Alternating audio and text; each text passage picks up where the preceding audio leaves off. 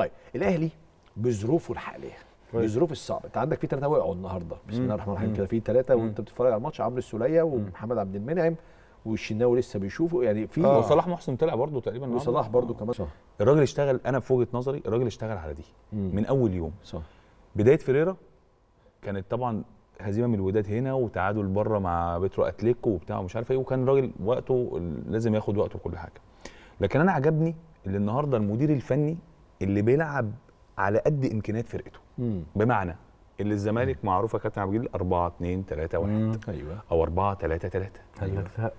قال لك لا ما الدنيا ياكلنيش عيش ده. آه، بالظبط. قال لك لا ما الموضوع راح مغير الطريقة 3 4 3 ومن ساعة ما غير الطريقة دي والزمالك شغال كويس جدا. النهارده سوارش عمل كده. أنا بقول لك فأنا بحيي الراجل ده اللي زي ما قلت لك ما- في مدربين يا كريم وأنا يعني بدون ذكر أسماء في مدربين يعني والله العظيم تيجي تقول له مثلا إيه أنت من آه، ما كنتش بتذكر أسماء. ما- لا مش هينفع. تقول له مثلا إيه نلعب 4 3 3 لا لا 4 2 3 1 طب نلعب 3 لا 4 2 3 1 آه عشان يقول لك ان اللعيبة عندنا ما تعرفش تلعب غير بالظبط كده. يعني إيه اللعيبة؟ أنا دايما بكره الجملة دي اللي هو آه. اللعيبة ما تلعبش تلعب 4 2 ويقول لك أصل رقم 10 هو اللي هيديني الاستحواذ ويعمل لي الوسط كلام يا عم أنا بلعب النهارده على قد إمكانيات فرقتي. أنا النهارده عندي عجز في نص الملعب فعايز أعمل زحمة في نص الملعب صح. وعايز أعمل ورا خط دفاع من ثلاثة بحيث اللي يعدي من نص الملعب بيقابل ثلاثة فهو الراجل دي نجاحه اللي هو طريقة اللعب الحاجة الثانية اللي الراجل يا كريم لما أنا أبقى لعيب ولا مدير فني جريء وبيلعب واحد صغير مثلا ويخطف لك واحد ما يلعبش مثلا من الكبار ويطلع بره ال 18 يعني سيف الجزيري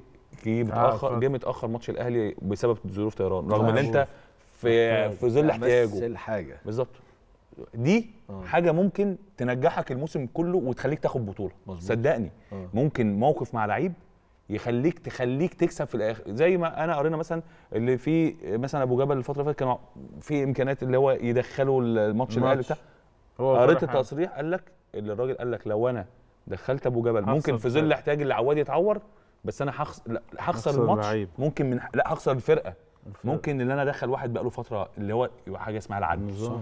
فهو الراجل بصراحة أنت عارف اللي اهم يا كابتن أمير كمان وكابتن عبد الجليل إحساس اللاعبين إن إحنا كلنا مهمين. بالظبط. يعني أنا مش مش منزلك عشان مضطر أنزلك. مش النجم الأوحد. لا أنت أنت مهم. يعني أنت. نازل اللاعب عشان كده النهارده مفيش أشرف بن شرقي مفيش ما تأثير. النهارده ما حسيتش. ما حسيتش. آه حسيت موسيماني غلط في آه، الاهلي في. موسيماني. بعد اللعيبة الكتير. وخلى عنده إحساس إن يلعبوا. النهارده بتشوف حسام حسن بيحاول. رجع. كذا لعيب. فدي فرقة زي ما قال لك مدرب لمدرب. النهارده النادي الزمالك منظم. بص على لما يجيبوا جون بص على الدكة الاحتياطي. بص في روح. على في روح باينة مم. باينة. مم. آه، حب اللعيبة لبعض.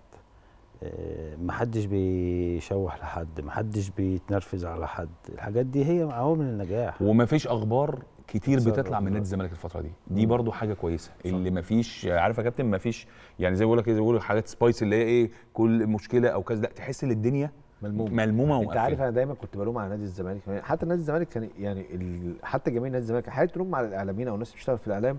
أنتوا اشمعنى بتتكلموا على مشاكل الزمالك؟ ما هو كنت دا- دايما انت اللي في إيدك تقفل دايما العلاقة. اطلع أقول ما أنا لو ما لقيتش حاجة من نادي الزمالك مش هقول. ولا وانت وانت أنا دلوقتي معايا خبر ان الزمالك في مثلا يعني في مشكلة أو في خناقة أو في أي هتقوله. أنت زمان ما كنتش بتلاقي على النادي. الأهلي حاجة. نفس القصة في الأهلي. دلوقتي الاهلي حاجة. أنا عندي حاجات أقول عليها. طب ما أنا بقولها. طب. أنت اللي بتبيح لي ده أو أنت اللي لي في إيدك تقفل بالظبط، أو. تفتح الليلة دي. لكن زي ما بقول لك الراجل أنا شايف لا ناجح مع في النهارده كمان حاجة يا كريم. تحس اللعيبه عندها ثقة الموضوع سهل قوي كانت الكوره سهلة آه. الكوره س... آه، س... في تحركات من غير كمان، آه. وبعدين في ميزة بقى في نادي الزمالك التحركات من غير الكوره هايلة صح يعني مشكلة نادي الزمالك قبل كده كانت عبد اللي أنت كله ثابت. كله ثابت آه. لا النهارده بتلاقي زيزو بيتحرك نيمار بيخش لجوه زيزو يطلع بره فتوح بيكمل يخش. أنت عندك مثل واضح جدا في الكور كرة الهدف الأول بتاع الأهلي سيف الجزيري بيجنح على اليمين وزيزو في مكانه. بالظبط. يعني هو سيف اللي بقى على اليمين. وهو عارف اللي هو هيحط له في الحتة دي. فقطع على الحتة دي. هاخد مكان سيف الجزيري بالظبط. ف... فاللي فارق مع الزمالك في شكله زي ما قلت لك اللي كمان حتة ثبات التشكيل والراجل برضو ممكن كل ماتش بيعمل rotation في مركز. صح. وبعدين أقول لك على حاجة اللي أنت تخترع محمد عبد الغني يلعب في الحتة أنت عارف محمد عبد الغني ميزته إيه يا كريم؟ أنت مش واخد ب... يعني ممكن الناس مش واخدة بالها جدا. مم. اللي الكرة على طول على الأرض. يعني عبد الغني عشان سيرد باك من أصلا مميز اللي هو ما بيلعبش عالي كتير بيلعب كرة على الأرض الحاجة الثانية اللي منجح الطريق عبد الغني أو شكل نادي الزمالك اللي الكرة الثانية على طول يا كابتن عبد الجليل لصالح نادي الزمالك. آه. أي كرة تانية الكرة العالية الكرة التانية هتلاقي عبد الغني على طول متواجد. وهتلاقي الكرة التانية ال- ال- فبرضه حاجة تحسب للمدير الفني اللي انت النهارده كل الناس كان يقول لك إيه إمام عاشور نجربه ستة وبابا نجربه راح جايب third back وراح ملعبه في الحتة دي. فعامل لك في الحتة دي قوة مع الثلاثه مع عبد الغني. آه، يعني و يعني بدافع بأربعة third backات third backات فالموضوع صعب جدا على اي على أي فرقة اللي أنت تخترق دفاع نادي الزمالك. سوارش إيه رأيك؟ إيه رأيك أنت؟ أنا جاي لك بيه جاي لك والله. ما أنا عارف. ينفع يتقال رأيي دلوقتي عن سوارش؟ ما ينفعش. لا. بس يخف تصريحاته؟ والناس والناس تفهمه إن أنت ماسك فرقة مرعبة فرقة بطلة. هو قال إيه؟ قال أنا الفترات الجاية أخلي الناس تترعب من فريق الأهلي و... وأنا المرعب بعد كده وبتاع. ما هو إحنا طول عمرنا مرعبين. آه، فهموه. إحنا في في في ثلاث شهور أربع شهور آه، الدنيا مش مظبوطة شوية. انما الاهلي هيرجع. بس أكيد أكيد أي مدرب بيبقى عايز يحفز لعيبته. هو يعني ما. يعني التصريحات عادية. يعني مش أنا أقصد أدام ما أخطأش في خصم ما أخطأش في. لعيبته. يعني مثلا أنا في وقت موسيماني كنت ألوم فرقة موسيماني كبيرة. وانتقد لعيبته. أنا أنا فرقة كبيرة. برشلونة لما. وقعت. شوية. ما جاش حد قال إحنا هنرجع مرعبين زي الأول وبتاع. أنا أنا طول عمري أنا عارف أنا مقامي إيه. مش معنى إن أنا نزلت شهرين ثلاثة مم. يبقى الأهلي في طريق لا الأهلي راجع وراجع بقوة وراجع بس النادي الأهلي بقاله 100 وشوية سنة. اوعى تفتكر إن مفيش كبوات حصلت زي دي. آه. إحنا في سنة من السنين. بومفرير. لا قبل فومفرير آه، أيامنا إحنا كان آه، كنا المركز ال 14 أو 13 مع مم. مايكل إيفرت كان مم. جابوه لنا كده شوية. وختمنا رابع يعني بس كانت انت- انتقالية. ورجعنا خدنا الدوري ثلاث سنين بعد كده. فده الناس ما تقلقش. بس بلاش عند.